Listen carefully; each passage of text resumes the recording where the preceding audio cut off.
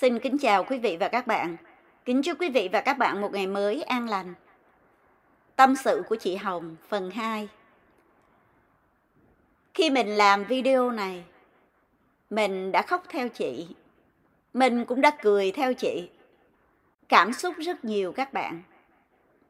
Vì nếu thật sự khi mà chúng ta đã kết hôn, không cần biết là ở Việt Nam hay được qua tới Mỹ, người phụ nữ Việt Nam chúng ta thì luôn luôn có một sự hy sinh. Hy sinh cho chồng, hy sinh cho con. Nhưng mà rồi cái hy sinh đó được lại những gì? Chị hy sinh quá nhiều, nhưng rồi cuộc đời chị sẽ như thế nào khi đặt chân ở đất khách quê người? Có bao giờ bạn nghĩ rằng đưa vợ và con từ bên Việt Nam qua Mỹ mà không mua được cho vợ một tấm nệm để nằm, rồi vợ tiếp tục đi làm thuê làm mướn và đi xin được một cái nệm, một cái nệm rất nhỏ. Về cũng không nằm mà lại nhường cho chồng mình nằm trên cái nệm nhỏ đó. Và vợ thì lại nằm ở dưới đất, trải một cái chăn để nằm bên cạnh chồng. Có nỗi khổ nào bằng nỗi khổ như vậy không các bạn? Tại sao chị không nằm mà chị nhường cho chồng nằm? Mà tại sao chồng lại đặt lưng lên trên tấm nệm đó mà không bảo rằng em ơi em hãy nằm đi. Anh có thể nằm ở dưới được. Đó mới là tình yêu, tình thương. Hai người phải hy sinh cho nhau. Nhưng đằng này không phải vậy.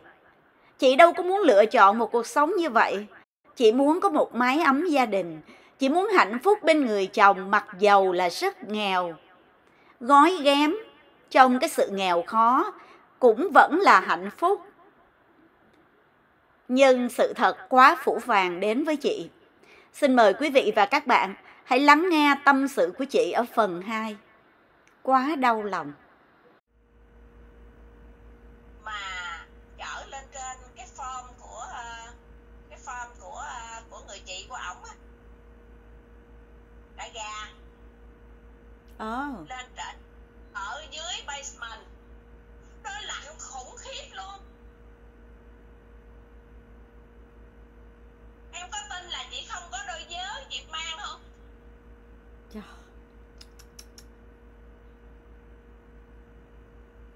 Chị không có chị không có cái gối chị nằm không? Ông không có lo cho chị hả? không có cái gì hết trơn á không có gì hết trơn á ông chỉ là chở đến nỗi mà bà chị ông phải bán lại hai cái gối cho hai mẹ con 10 đồng tức tiền ổng á Trời ơi. rồi bà chị của ổng thấy lạnh quá rồi đem xuống hai đôi vớ cho chị mang đó còn ổng á thì vớ nam không có đưa cho vợ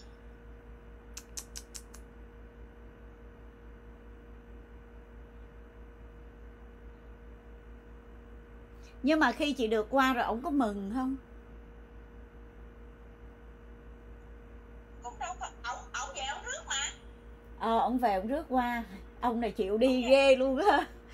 Ờ, ổng về ổng rước qua mà mà mua vé cho hai mẹ con rồi chị mới nói là thôi kệ nó để để để ờ, đi qua ổng nói à, sao biết đường đi qua à, thì chị nói ờ đúng rồi cũng không biết đường thôi ổng nói để em về rước ổng mua vé hạng thương gia ổng về rước đó Oh my god. Trời ơi, tiền đâu? Đó ổng mua vé hạng thương gia tại vì lúc đó lúc đó ổng ổng về á là chị chị lục người ổng á là có có năm năm hình như năm năm sáu trăm đô gì đó mà tờ hai chục hai chục không à. Thì chị mới nói vậy nè thôi cái tiền này để trở qua anh bển đi anh. Tại vì em đã bán cái căn nhà này bán cái nhà trên quê chị bán được 75 triệu. Ờ. thì chị mới nói đổi tiền đô đi. Anh anh đi đổi tiền đô. Nè bây giờ mà hồi đó anh cất nhà.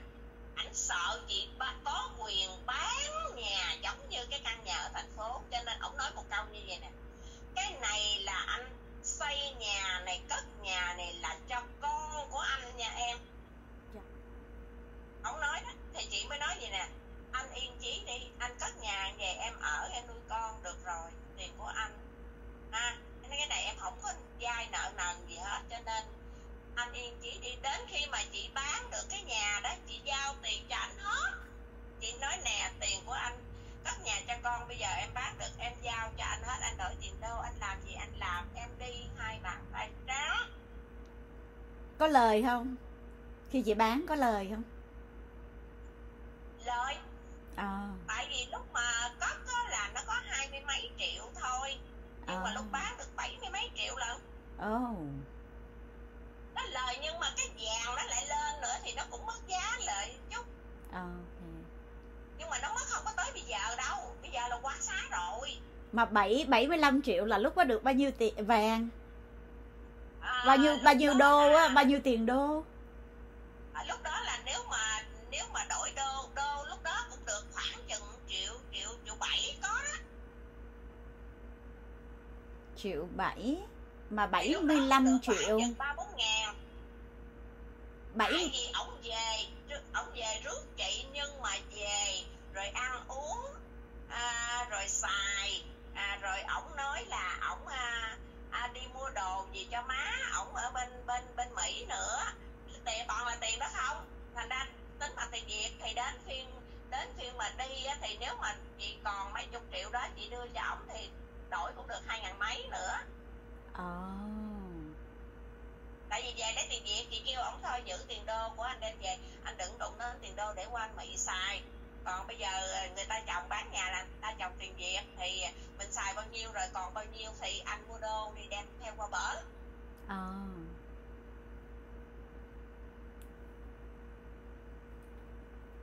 tức Rồi là ông là- này đó ông này vừa làm biến nè ha nghèo nè ha mà thích chơi sang. Sĩ diện lắm đúng rất sĩ diện luôn. Sĩ diện lắm. Đó. Rồi xong xuôi rồi cái bắt đầu con con của con gái. Thấy tội nghiệp bà lắm. Cái thương bà thiệt mà thương nên bây giờ chị chị suy nghĩ qua đến bên này á, là nó không có biết một ờ, cái ờ, cái ờ, cái cái desktop á. Ở nhà bà chị á bà chị của ổng á thì có cái desktop bắt đầu bà mới đánh đánh lên nha. Mới mới mới biết. Đánh đánh đánh đánh đánh đánh nha. Tại ở quê mà đâu có xài mấy cái đó. Dạ. Đánh trên cái bàn phím. Đánh đánh đánh đánh. Cái là ở nhà bả được gần được 20 ngày rồi cái bà mới nói à, bây giờ đó thì phải đi xuống phía thành phố mới là có việc làm chứ ở trên bả là ngoại thành rồi ở trên quận ho đó. Dạ. Là nó nó thuộc về à, có có có những cái cái cái cái trang trại là phải phải phải về đẳng còn mình muốn làm việc thì mình phải tu tuôn xuống dưới này đi khoảng gần tiếng á. Dạ. Cái bắt đầu là ta mới nói phải trở xuống dưới mới có việc làm. Cho vợ mày nó đi tìm việc làm. Hồi xưa lúc mà à, kêu qua bên này á thì gái nó khóc quá trời luôn. Nó nói không con không chịu đi mỹ con ở với mẹ à con không có chịu đi đâu. Khóc quá trời quá đất luôn. Nói không mẹ đi với con. Mà em biết gì lý do tại sao mà đến con chị 13 tuổi ông mới ông mới đi không? Cho đi không? Tại sao?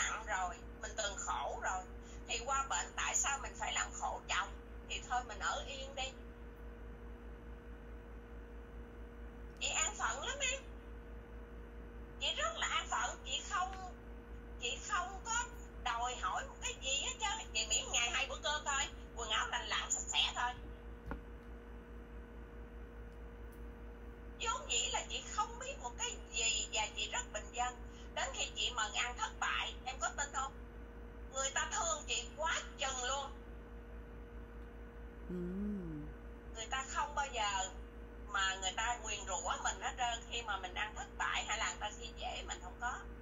Ta nói trời ơi công nhận nó nó làm phước ghê á.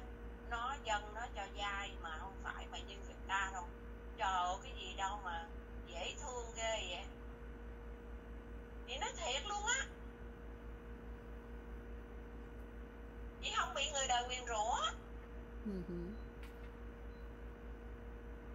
cái nghề cho dai em biết nếu mà nếu mà em ăn tiền lời, em ăn người ta bị rủa dữ lắm chứ, chị biết. Mà chị không có bị mấy cái vụ đó. Chị mừng chị biết hoàn cảnh của người nào nó khổ, nó nghèo, sao chị nương tay người ta luôn. Đến phiên ảnh nói vậy mà bà chị nói vậy đồ ơi cái chị mới nói thôi bây giờ nếu mà chị muốn mẹ con em qua mỹ để em hỏi chồng em hả? Đó. Cái xong bà mới nói? Đây nè để chị gọi thẳng cho nó liền cho. Rồi nói chuyện tại vì lúc đó là à, bị đi à, đi à, gia đình đi à, à, tìm được mộ của ba chồng ở ngoài hoàng liên sơn đó. Rồi hốt cốt về cho nên là là đi lên trên trên trên à, trên trục tàu đi lên đức mẹ trên trên à, tạ ơn. Ờ. thành ra là à, cái cái cái bà chị bà bà bà kêu mẹ con chị đi mà. Cái đi đi đi cái à, lúc đó là năm 2006 nha. Cái Dạ. à, chị mới gọi cuối năm 2006 tháng 11 á chị nhớ luôn. Cái bà mới nói ê mày à, à, giờ có nghĩ là bảo lãnh vợ con mày à, qua bên này không? Cái ổng nói ai biết đâu nè. Cái bà mới nói nè à, em nói chuyện với chồng em đi. Cái chị nói anh ơi bây giờ chị sáu chị muốn à, bảo lãnh à, làm giấy tờ hai mẹ con đi qua bên bển à, hồi đó anh nói là qua bên đó là là là là gánh nặng cho anh. Vậy em có nên qua không anh? Trời chị hiền thật luôn á nha, ngây thơ mà hiền quá vậy. à, mà chị ở Việt Nam em biết cái nghề cho dai cái nghề ấy là lanh lắm. Ờ Mà mà sao chị- chị không đi học hỏi, chị không hiểu biết gì vậy? chị không có biết gì hết trơn chị rất là chị con người của chị dùng cái chữ bạn chị nói là thiệt thà đó chị không biết nói láo đâu Bà Nhưng sao mà mình cũng phải biết nhìn một cái gì đó chứ tại vì lúc đó Việt Kiều cũng về nhiều rồi. chị chị không nghĩ gì chị không có nghĩ gì chứ hay là tại chị ở 10 năm trên quê chị cũng quê luôn thì không biết nữa Dám lắm à, tại vì chị ở chung quanh là rừng cao su không, chị không có à, tiếp xúc với ở ngoài đời. Rồi chị không nghe được cái này, chị không thấy được cái kia. Cho nên là chị không Ờ. biết, chứ nếu mà chị ở Sài Cái Gòn thì chị cũng phải nhìn thấy chứ. cái xong cái em biết anh trả lời sao à, anh nói à, ai ai biểu đi nói à, chị sáu à, bà nói là à, chị chị chị sáu bà nói là à, nếu mà thằng cường nó không đủ khả năng á, thì à, chị à, bảo trợ thêm mà chị lúc đó chị đâu biết chịu bảo trợ gì đâu Không biết. Cái xong cái nói à, à, chị sáu chị nói à, nếu mà anh không có điều kiện gì thiếu thốn gì đó thì chị giúp đỡ thêm gì đó chị nói vậy đó. Cái ông nói ừ có người giúp đỡ thêm ừ đi ừ đi ừ qua đây đi. Ông chồng chị đúng là có vấn đề đó. rồi cái xong cái chị mới nói ừ thôi vậy thì đi. Cái bà nói ừ vậy để à, à, qua anh bệnh kêu nó làm giấy tờ tại vì làm có hôn thơm thú con được khai sanh đàng hoàng mà. Đến phiên qua bên, bà trở về bên này, bắt đầu là giấy tờ là ông lo nha. Lo phụ vô, gửi cái gì về, kêu gì gì gì, vậy đó. Kêu à, đi về à, thành phố làm à, giấy tờ gì đó là chị chạy u về thành phố chị làm làm làm làm đầy đủ giấy tờ. Có một năm mấy, một năm mấy sau là được được đi đó. Tại vì qua qua lúc mà ảnh 2007 ảnh làm ảnh thi thi vô có bảo lãnh rồi ông mới chịu thi quốc tịch oh. Ờ. rồi cái bắt đầu mới làm hồ sơ. Bà nói là qua bệnh kêu nó thi quốc tịch thi quốc tịch xong chị mới bắt đầu chị làm hồ sơ nó mới nhanh. Mà nó chắc ăn hơn nữa chứ còn thường trú nhân thì không chắc ăn đâu mình nó sợ nó lâu nó có trục trặc gì. Thôi để qua bển kêu thành ra là đến đầu năm 2009 thì mới được đi đi mà công nhận phỏng vấn qua rất lọt hết trơn à. Đến hồi qua bên này rồi. Trời ơi chị nhìn. Ổng có một chiếc xe cũ xì thôi anh về Việt Nam kiểu đó mà đi làm nhà hàng như vậy làm sao mà có tiền? Rồi cái à, ảnh mới ở trên trển dưới đó cái bắt đầu ảnh xuống đây chị ổng giao bắt đầu ổng cứ việc ổng sáng ổng đi làm thôi. Ổng chỉ đi làm ổng giao cho chị của ổng là chở đi chợ tự nhiên cái qua nay cái bắt đầu chở đi coi nhà em coi nhà mua ổng á hả? Ơi, bà bà bà chị chồng nè à. bà chở hai mẹ con cứ đi sáng sách cái đi coi nhà coi nhà đặng mua. Rồi à, kêu ổng á là à, chở đi nữa. Ổng ngày nghỉ thì ổng cũng chở tranh thủ đi chở đi coi nhà. Bà chị chồng này có lẽ được à nha. Ờ cái coi à, coi xong cái à, coi coi căn nhà. Cái xong cái chị mới nói với ảnh chị nói vậy nè. Ủa anh anh chị chị sáu chị chở đi coi mua nhà. Ủa tiền đâu mình mua anh? Cái ông nói à, thì kệ bà chở đi thì cứ coi cứ đi đi. À, đừng nghe gì mà sao ông ông rất là nghe lời. Ông rất là nghe lời. Chị có bao giờ ông có tiền mà ông không muốn cho chị biết không? Ông ông dân cờ bạc em. Để chị kể Ồ, nha cờ trời bạc ơi. luôn. Oh my god vậy à? Ồ cái xong cái đến phiên đến phiên mà mà ảnh ảnh ảnh ừ, kêu chị đi cứ đi coi đi á cái cái cái chị cứ nói với con gái bà đi coi được tiền đâu đâu bên này tiền mua căn nhà mắc lắm à, đâu phải cái chở đi coi chở đi coi năm bảy căn gần cả chục căn cái xong đến cuối cùng cái nửa tháng sau cái bà mới nói à, à thôi giờ em ở trên này không có làm ăn gì được đâu trên trên này là chị là đại gà bây giờ chị chở em đi xuống phía dưới đặng đi kiếm việc làm với lại đi coi mướn nhà cái chị nói ủa vậy phải hồi đó bà nói đơn giản lắm nha bà nói à, em đâu có gì đâu à, bây giờ em còn nặng gánh em của em ở Việt Nam nghèo khổ phải không em đi qua bệnh em không có làm cái gì mà mà phải à, suy nghĩ hết nè em qua bệnh em giữ trẻ 900 em đưa 700 nó trả tiền nhà 200 em gửi về Việt Nam xong khỏe không đơn giản ghê ha bà tính đơn giản lắm đến hồi qua bên này rồi cái bắt đầu nha ở trên nhà chị của ổng á, gần 3 tuần không sao đâu nha bắt đầu xuống này mướn nhà nè mướn mướn cái duplex hai phòng bắt đầu là chị ăn cơm chị chan nước mắt nè tại vì biết sao chị không có đi làm được chị đâu có biết cái gì mà đi làm không có biết gì đi làm hết trơn mà con thì bắt đầu nó vô nhập học rồi đó số mơi thì ông đi làm sớm 5 giờ là ông đã đi rồi là làm Trưa nhà hai hàng giờ đó rưỡi ông về. là làm nhà hàng ông đó làm hãng à lúc đó làm hãng à lúc đó làm hãng thì ông làm hãng thì mới đóng thuế mới có income mới bảo lãnh chị từ khi mà làm hồ sơ giấy tờ là ông mới làm hãng ok đó thì rốt cuộc income của ổng á là đủ bảo lãnh có một mình chị à ừ. tại lương ổng là chỉ có hai chục ngàn một năm thôi thì người chị của ổng á mới là mình gọi là gì em chị dâu. Chị à cô sai cô sai. Tức là À, chị của ổng cô sai thì mới có tên con gái vô. Ok. Đó chị của ổng mới cô sai thì hai mẹ con mới đi.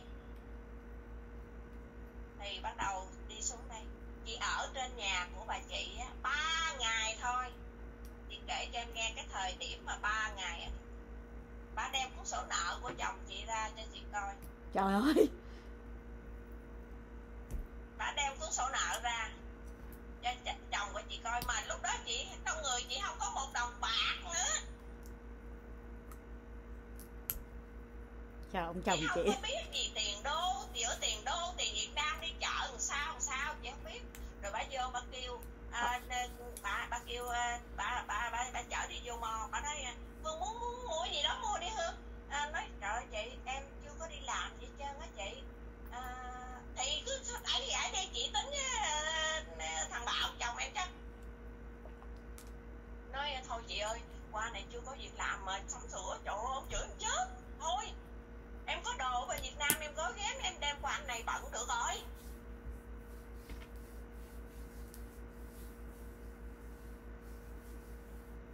Rồi thế là bà mở cuốn sổ nợ ra cho coi thì thiếu bà ở đâu à? Gần 6 ngàn đô. Trời ơi. Gần 6 ngàn đô. Rồi à, xong rồi cái à, mới nói chị mới nói vậy nè chị ơi em đâu có biết vô tiền bạc gì đâu chị. Cái này là của à, ảnh làm em không có biết gì em về hôm qua không có cầm tiền gì. Thôi nếu mà nếu mà chị nói vậy á, thì à, để à, em thì thì để nữa em có việc làm á em nhín nhín tháng em trả chị 200 em bà nói à chừng nào có việc làm mà rồi thì ấy ấy chị chỉ cho câu cho biết vậy thôi tại vì à, việc làm à, hay là bất cứ cái gì của chồng mình thì vợ mình phải biết hết. Khủng khiếp thiệt á rồi cái mới mua xuống đây cái bắt đầu mướn cái đúp lệch mướn cái đúp lệch hai phòng cái bữa đó đang dọn dẹp để mà ấy cái chị mới nghe vậy nè chị mới nghe nghe bà chị chồng á đang dọn dẹp để mà liên rồi này nọ sắp sửa rồi nha cái bà nghe nghe nghe bà nói à dạ thì à, má nói với thằng bảo đi thì nói nó có nhiêu nó trả nhiêu trời ơi mày nghe gì đến phiên bà già nợ nó nó nợ bà già nữa trời cái à, cái chị hỏi nữa chị tao chị hỏi tới đã chị hỏi tới chừng nào hết thôi mà cái chị nói ủa chị à, ảnh thiếu tiền má nữa hả nói ờ nó thiếu má mà thiếu ít à thiếu có 500 đô à cái chị đợi anh đi làm về chị hỏi anh anh sao anh thiếu tiền má vậy cái ông nói à, thì à, cái kỳ bị tai nạn đó mà ấy gãy răng đó rồi cái anh à, mượn má 200 về đang cho em làm răng đó bị tai nạn Trời. bị hồi xưa chị bị tai nạn ở bên Việt Nam chị bị gãy mấy cái răng chị phải À. làm răng Bị, à, À. chạy xe Honda mà chó nó băng ngang qua mà chị té đó hai mẹ con bất tỉnh luôn em trời đất ta chở đi vô trong trạm xá luôn chị nói là chị cô thân độc mã lắm cái tuổi canh tí của chị nó ấy lắm có một mình không à còn là hàng xóm nuôi không à đến bây giờ chị đi làm mà người ta có cái bánh ngon người ta cũng cho người ta có cái trái cây ngon người ta cũng cho chị đó Ừ. cái bắt đầu cái ông nói thì kỳ đó em bị đó là là là là Nói, ủa anh cái này là gần 2 năm rồi anh vay mượn đó có tiền đâu trả. Cái xong cái chị mới nói, ủa vậy anh mượn 200 cho em mà sao giờ anh thiếu má 500 cái xong cái à, cái à, anh nói à, thì à, hôm kỳ đó à, na- sinh nhật của thằng thằng thằng thằng răng à, con của anh bảy ở Việt Nam đó rồi à, mấy người à, mấy bả bên này nè à, nói à, mỗi người hùng lợi hùng lợi đang cho thằng răng đó tội nghiệp nó à, thì anh cũng gửi uh, hùng trăm vô cái nó ủa anh hùng trăm thì cũng vẫn là thiếu 300 chứ sao thiếu 500 thì cái ổng mới nói à thì thiếu 300 mà mượn 200 cho chẳng 500 Trời, mắc cười cái không mượn 300 mà thiếu 300 mà mượn 200 chẳng cho chẳng 500 rồi em có tin không bắt đầu chị cái à, bắt đầu bà chị bà chị chồng bà chở bà chở đi lại à, mấy cái chợ Việt Nam đồ này nọ đặng bà xin việc làm xin thì à, ở chợ mà người ta đâu phải ta ừ liền đâu. Thì người ta cũng lấy số điện thoại mình rồi người ta nói chuyện nào cần thì người ta gọi cho mình vậy đó. Dạ. Rồi cái xong cái bên đến phiên cái có một người quen thì người ta mới nói à, để à, dẫn đi vô phụ ở trong bếp coi coi. Cái này cũng là một cái giống như là cái quán ăn gia đình vậy đó. Dạ. Thì cũng nhỏ thôi chứ không phải là cái restaurant. À, thì người ta cũng à, dẫn vô coi coi làm được không rồi à, ở chỗ uh, cái tiệm bánh mì nữa. Người ta nói để người ta cũng dẫn vô cho làm thử coi. Thế là dẫn vô làm thử. Trời ơi. Vô làm trong cái chỗ mà bán bánh mì mà nó phải bánh mì. Nó phải bánh mì không mà trong đó là nó có nấu đồ nữa. Chị đâu biết đâu em ở bên mỹ là à, ở bên việt nam là ví dụ bánh mì là bánh mì phở là phở còn bên này nó bán gì tùm lum ở trong hết trơn à. Ừ. rồi vô mình làm đâu được đâu có một ngày một mà nó đưa mình năm chục nó kêu mai nghỉ đi. Đó đó cái kêu mai nghỉ đi. Cái rồi cái về năm đưa nó về đưa năm chục luôn chứ đưa năm chục luôn. Đưa cho chồng á. Đưa chồng nói Trời. anh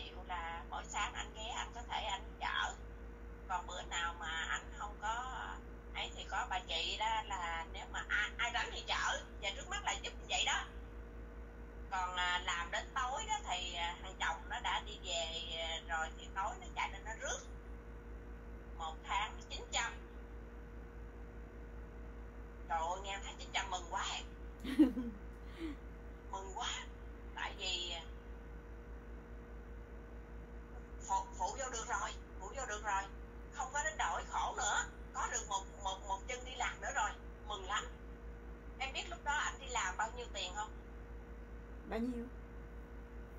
232 đồng một tuần. Vậy là coi như cũng gần 900 tháng đó. Ờ. Nhưng mà được Đó. tiền tiếp nữa đúng không? Không lúc ờ ờ thì lúc đó làm hãng làm hãng làm hãng ok. Làm hãng thì thì trừ thuế thôi. Dạ dạ dạ. Làm hãng trừ thuế với được bảo hiểm. Rồi mừng dễ sợ mừng luôn nha. Cái bắt đầu làm cho đó mừng rồi thì không biết tại sao nữa? Mà con gái nó nói là mẹ ơi mẹ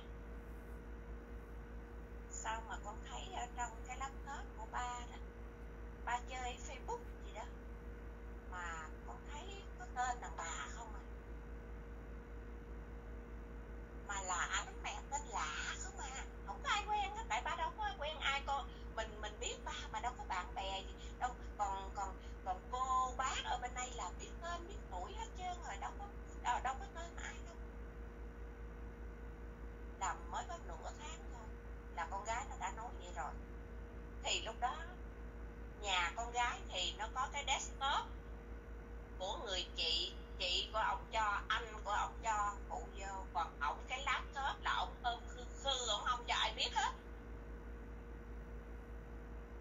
Ổng hoàn toàn là ổng không cho ai đụng tới cái laptop của ổng hết. Tức là ông có ờ, vấn đề đó. Ừ. thì con gái thì lúc đó đó cái password á ổng chỉ cho con gái có nghĩa là vô được facebook của ổng thì đem nhà ổng chỉ như vậy thì con gái nó mới mở facebook ra. Nó thấy nó nói mẹ mẹ mấy người này sao con thấy ở miền tây cần thơ vĩnh long không à? À. cái xong cái à, bắt đầu chị với ổng là gây lộn gây chị mới nói anh kỳ quá vậy. Mà cái lúc mà còn ở trên bà chị đó thì chị đã nói với anh chị nằm chị nói với anh vậy nè chị nói anh ơi anh cái này là em nói thiệt nha không phải em nói giỡn đâu hồi nào giờ anh thấy em không có ghen phải không? Nhưng mà em vẫn có ghen chứ. Nhưng mà điều tại vì em thấy anh hiền anh không có gì nhưng mà em cũng nói anh hờ trước nha, nếu có thì anh nên rõ ràng. Tại vì hồi mà anh chưa có bảo lãnh mẹ con em qua đó, thì anh quậy cái gì đó anh quậy. Chị sao tự nhiên khiến sao bữa đó chị nói vậy đó em? À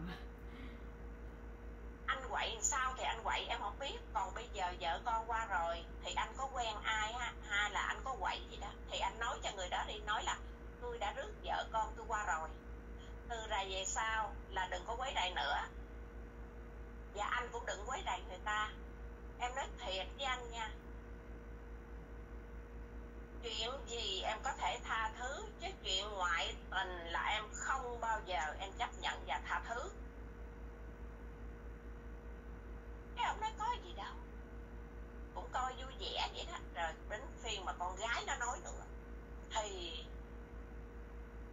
ông mới nói, không có gì hết trơn. Thì chị mới lợi cái chỗ mà giữ trẻ đó. Con nhỏ đó nó mới nói, chị sao em nói chị nghe chị về chị biết cái password ổng không? Chị mở ra, mở cái desktop ra em chỉ cho chị mấy bước và chị ghi vô đi rồi chị về chị mở ra chị thấy.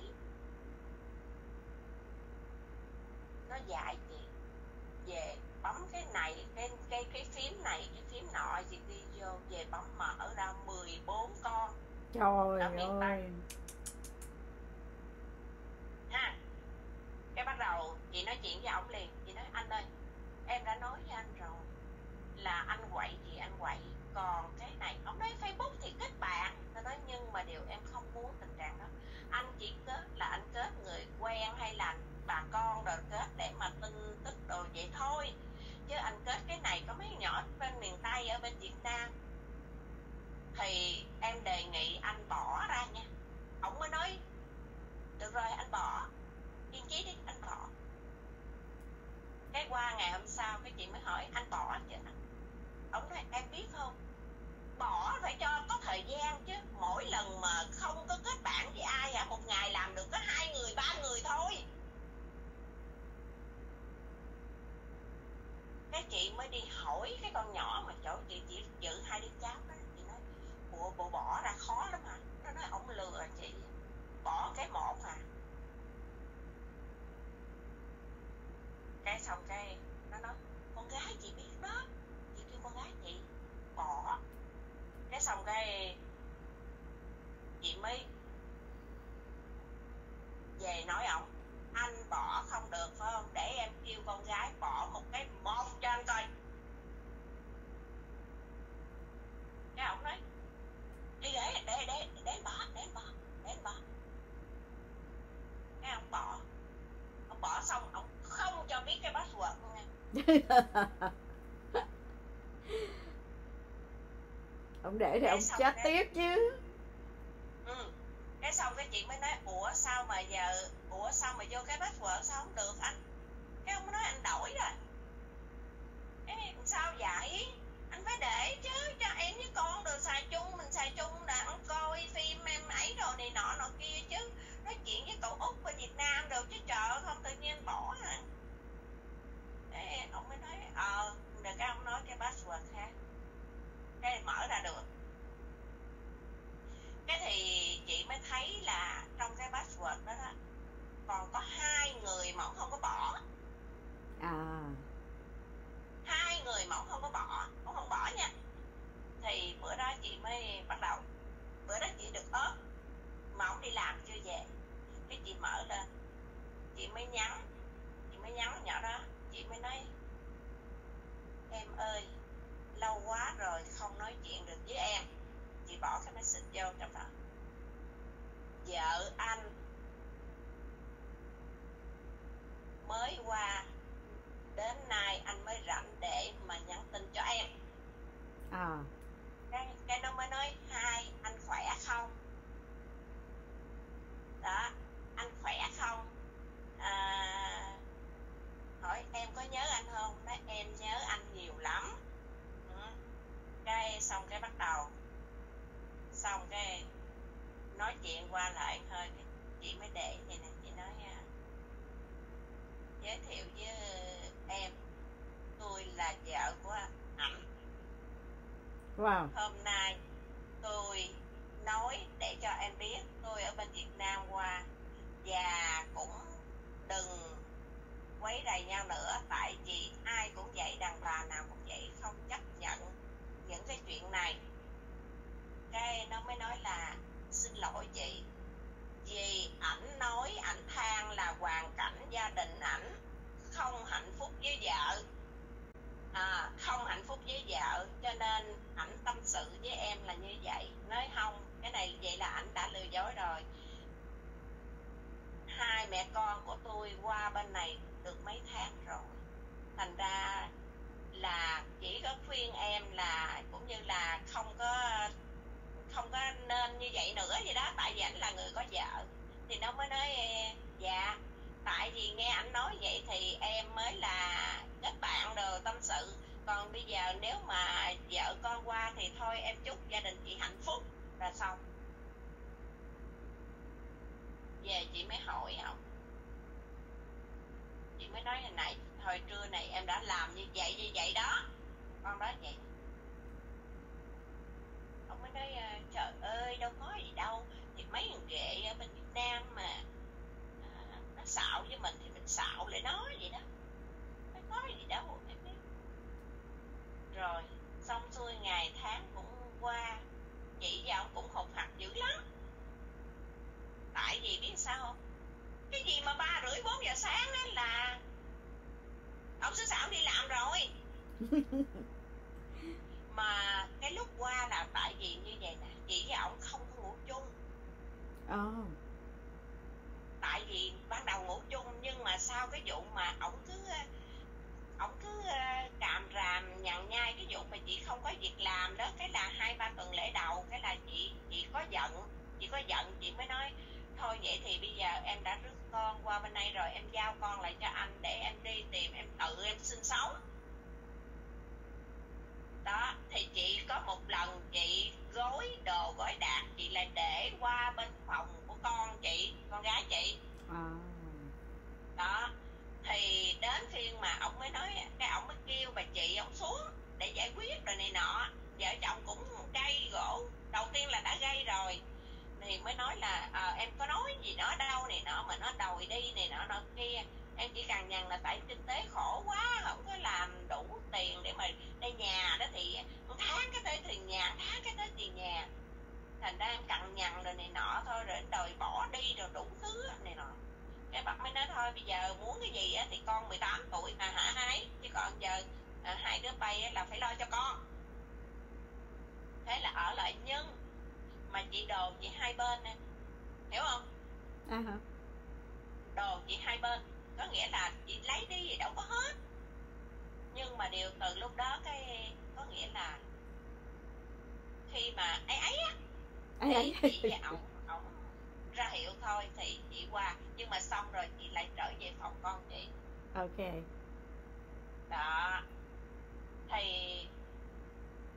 thì có lúc chị có một lần chị hỏi ông chị nói anh anh tại sao mà anh không kêu em dọn đồ hết qua bên phòng anh hôm bữa em giận á, thì em em xách cái vali qua bên con vậy em soạn mớ đồ qua con sao mà anh không anh vợ vợ chồng mình vẫn sống lại như thường rồi sao anh không kêu em đem đồ qua mà anh mà anh làm thinh vậy đại khái chị hỏi vậy đó thì anh mới nói à, hôm bữa anh đâu có đuổi anh đâu em tự em xách đi thì em tự em xách qua chứ anh đâu có kêu em thì chị nghe vậy chị cũng nói thôi kệ chung trong nhà à, muốn qua muốn lại cũng được không sao chứ cũng không có gì nhưng mà em biết không sống nhà anh em có tin không chị qua bên mỹ đến hai năm rưỡi chị ly dị chị chưa được nằm trên tấm nệm nha em Trời ơi, chứ nằm đâu? Dưới đất à?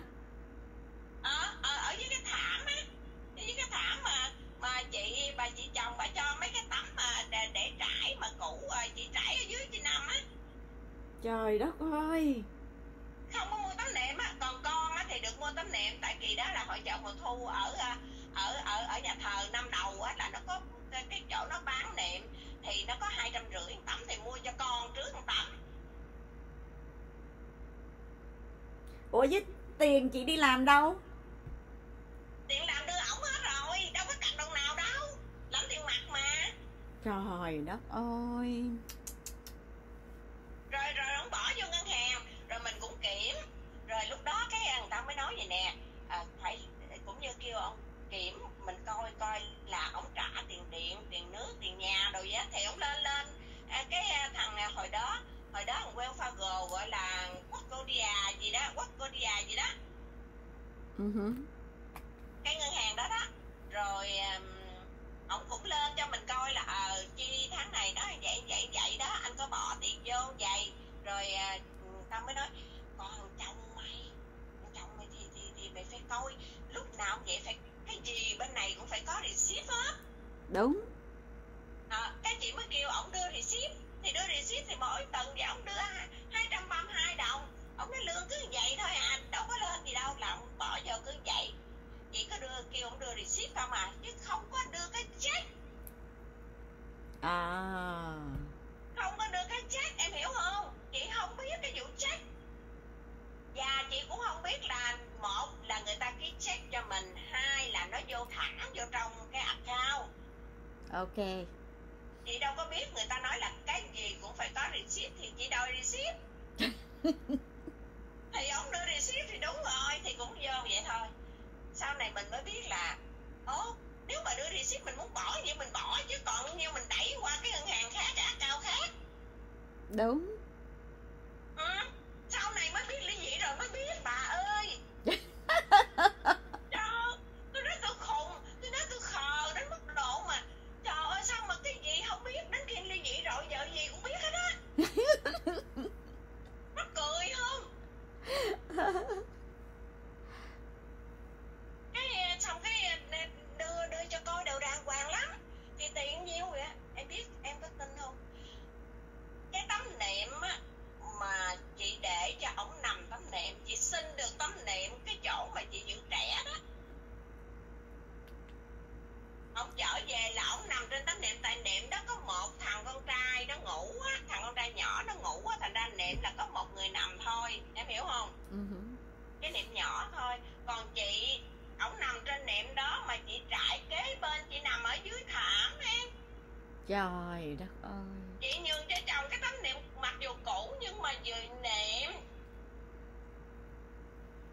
Còn mình nằm dưới thảm mình trải hai ba cái tấm mà mà mà mà mà mà, mà, cũ quá rồi bà chị bà cho để trải là này nọ nọ kia đó thì giờ mình nằm đi cho chồng mình cái niệm. Dầu cũ chăng nữa cũng là niệm cũng cao lên cả gan tay. Hy sinh cho chồng quá.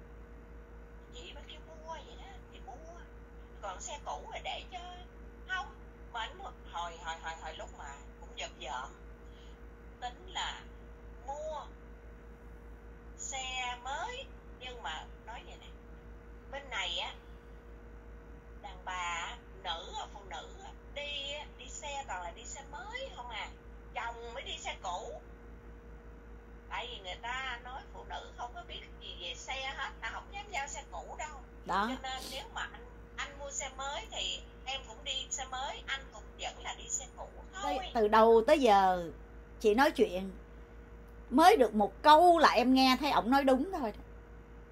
Ừ. đúng câu đó là rất đúng. Phụ nữ là phải đi xe mới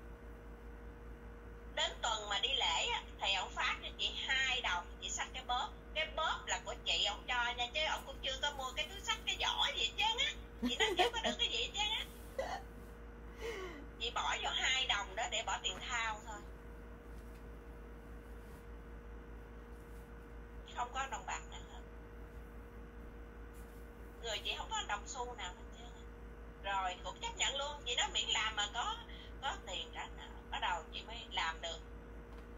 Bắt đầu đi làm, đó, là chị mỗi tháng chị trả cho má chồng của chị 100 đô một tháng, trả 5 tháng này.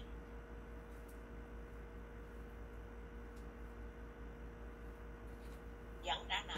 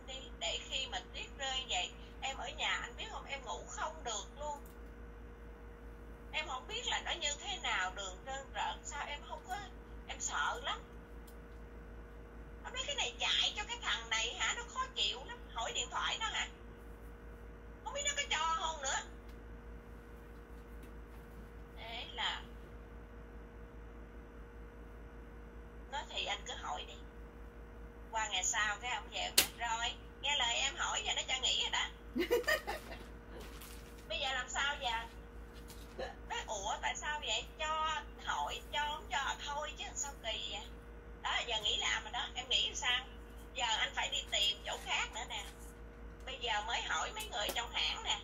À, giờ cuối tuần mấy ông à, bà già đó chịu đi lên trển à, đến bài rồi nè. Giờ cuối tuần phải đẩy sách xe mình nè chở mấy ông đi nè. Đó em coi đó. Tại em hết à? Cái mình mới nói ủa sách xe mình vậy thì chở vậy tính sao? Nói thì cũng tính vậy thôi nhưng mà đều à, hao mòn xe mình. Đều có bữa người ta đánh bài ăn thì người ta đổ xăng cho. Thì cũng được đi kệ nó có trăm nào đó trăm nấy nhưng mà anh đi lên trển anh đừng có đánh nha anh. Chợ ngu sao đánh? Tiệm có nữa đánh đánh đánh đánh. Nói như em hay làm như vậy này dễ. Cái gì ông cũng nói được đến Đúng. hồi xong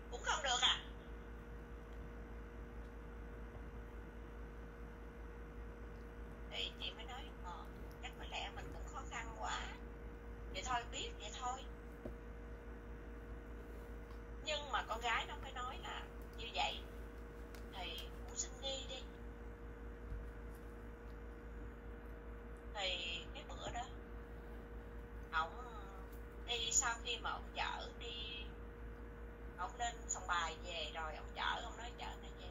Thì chị thấy cái mặt ông phờ phạt lắm cái, cái mặt ông phờ phạt lắm. Về chị mới hỏi của anh à, sao mà bữa nay bộ người ta thua dữ lắm sao mà anh đi thấy có về cái vẻ mệt mỏi vậy?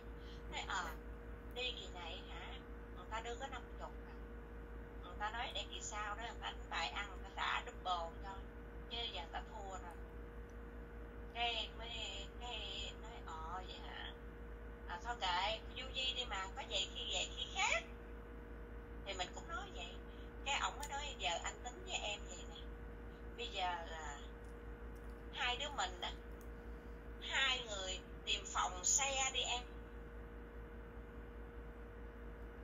xe để đừng có mướn nhà nữa đó đừng có trả tiền nhà nữa.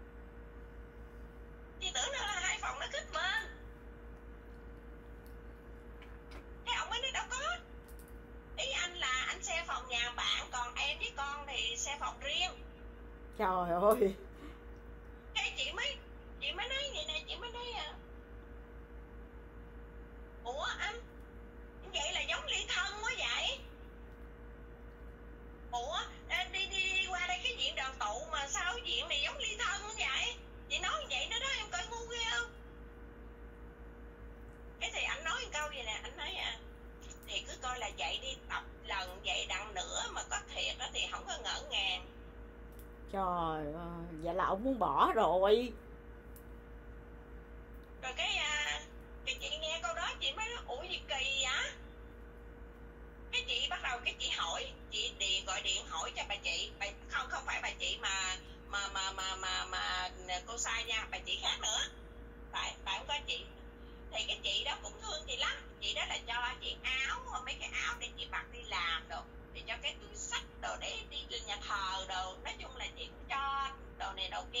Còn là đồ cho không à?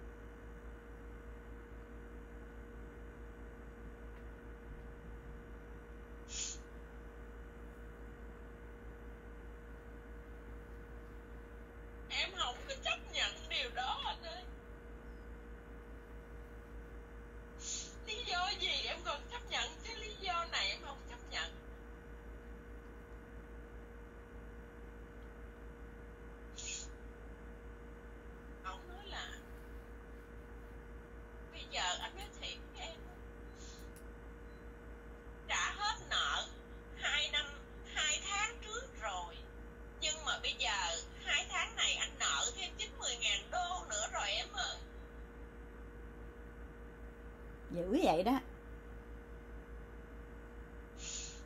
Thì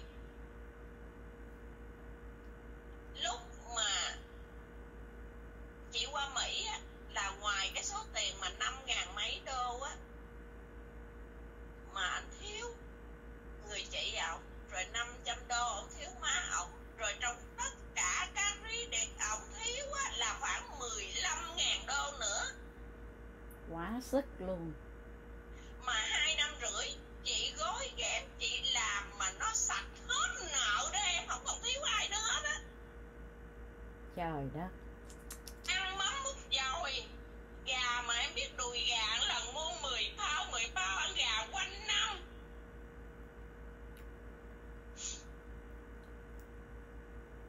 đã hết nợ rồi chị mới nói là những lần này là đáng lẽ gì lúc đó chị xin ổng một tháng 50 đô để gửi cho em chị thì lúc đó anh nói gì nè bây giờ còn đang nợ chừng nào hết nợ anh mới cho em năm chục để em gửi về cho cậu thì sau khi mà hết nợ rồi chị hai tháng là chị xin ổng mỗi tháng năm chục chị mới gửi lần đầu tiên được 100 đô cho em của chị ở Việt Nam á thì ổng bùng ra ổng nói là ổng thiếu 90 ngàn đô nợ cờ bạc rồi anh đã đi lên trển và anh đã bị thua bài rồi em ơi trời ơi